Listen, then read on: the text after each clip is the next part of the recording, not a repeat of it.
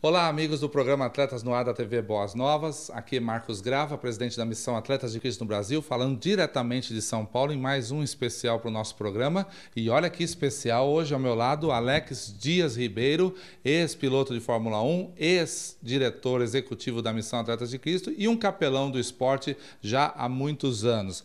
Alex, que também, além de todas essas atribuições, é um escritor com vários livros sendo lançados pela nossa missão. O mais recente deles, Força para Vencer, uma reedição de um outro livro bem vendido há muitos anos atrás, né, Alex? É, o livro traz o testemunho de vários atletas de, que andaram com Cristo, que tiveram é, experiências incríveis com ele, com ele, e a gente está publicando esses testemunhos porque nós queremos que o testemunho é uma linguagem muito mais fácil da gente usar para levar a mensagem de Cristo até o coração daqueles que são de fora do rebanho.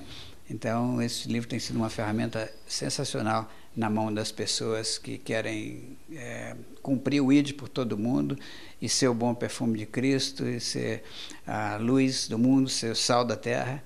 Então, o livro fortalece não só as pessoas que leem, mas aquelas que recebem é também um exemplar disso, é uma excelente maneira da gente comunicar o evangelho na linguagem universal do esporte.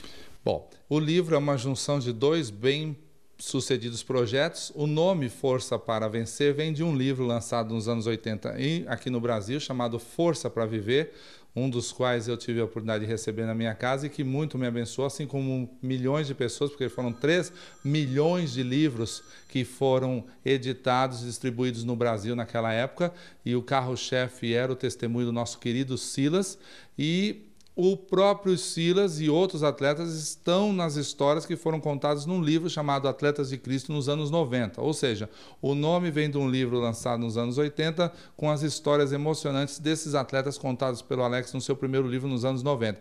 E o interessante, Alex, é ver que esses mesmos nomes continuam hoje servindo ao Senhor, bem casados com suas famílias, uma história bonita, não é mesmo? É, eu entrevistei todos eles, os veteranos de 25 anos atrás, com duas perguntas valeu a pena ter andado com Deus esses 25 anos e por quê?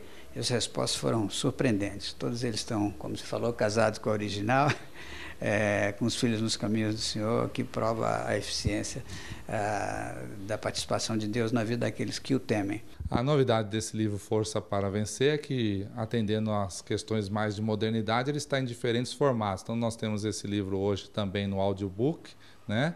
E você também pode comprar na modalidade impressa, não apenas em português, também foi editado em espanhol e em inglês. Aí está aparecendo nosso livro e se você quiser tê-lo ou também distribuir na sua cidade para pessoas, é fácil, basta entrar em contato conosco, conhecer essa novidade de Atletas de Cristo, que é o livro Força para Vencer.